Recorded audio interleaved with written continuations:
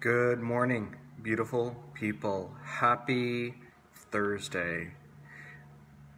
For those uh, that don't actually know what day of the week it is, we're still going. We're still in this. It is day 34 of my uh, daily online check in, day 34 of thinking about thinking.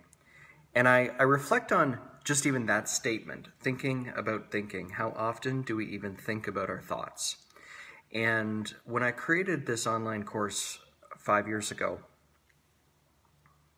I'm just looking at the day, April 23rd, it really was my journey for how did I uh, outwit, overcome, and really integrate fear into my life to be able to do my best to live a life of joy, live a life of love. Uh, and at the same time, I did it to uh, release a book, release my third book at the time.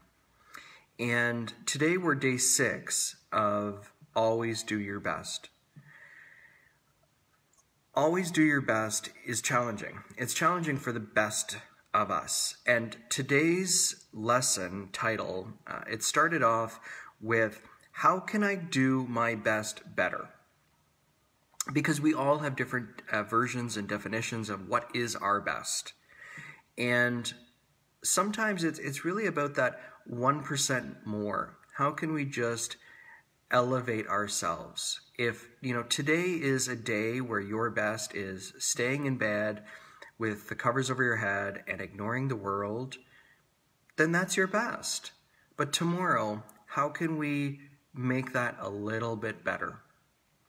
And the easiest answer to how can I do my best better is just make better choices.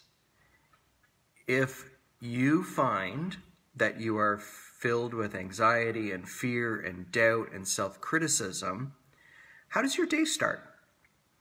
Is the first thing you do reach out for your phone and scroll social media and see how perfect everyone else's life is and see how amazing everyone else is and then compare it to yourself? Well, chances that's not a really good choice if you don't want to be surrounded with anxiety and fear and self doubt and criticism. So, in today's lesson, I created this litany of all the different things that you could possibly do to do your best better. And I know for me, especially in these new times, my routine, I'm loving not having had set an alarm for over a month. I wake up whenever I'm ready to wake up and I go pour a cup of coffee and then I go back to bed and I listen to a motivational uplifting podcast. And it really does set the tone for the rest of my day. And it reminds me back in 2008, fall of 2008, my father was diagnosed with cancer. And I undertook in 2009 to read the Bible every day for 365 days. I subscribed to an email service that basically emailed me uh, writing a piece of uh, the text every day for a year. So within 365 days, I read the Bible cover to cover, from Genesis 1 to the end of Revelations. And what I noticed about halfway through that year is regardless of what I read, it always stuck with me for the rest of my day. It either inspired me, sometimes it made me angry, a lot of the times it left me curious, but it always improved my mood. It always it gave me something to think about for the rest of the day. So I encourage you tomorrow, if you want your best to be even a percent better than what it was today, pay attention to how you start your day. And as the day goes on, if you find yourself getting lost in those negative thought patterns, again, stop. Think about your thinking. Why are you thinking what you're thinking? And what led you to be thinking like that? Was it negative experiences that led you down a rabbit hole?